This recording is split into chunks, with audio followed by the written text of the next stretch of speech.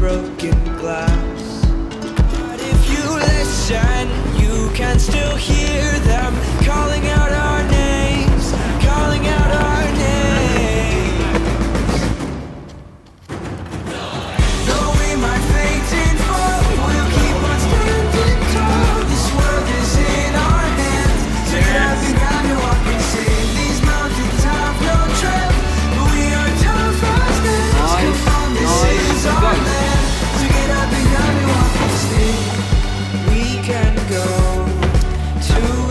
One.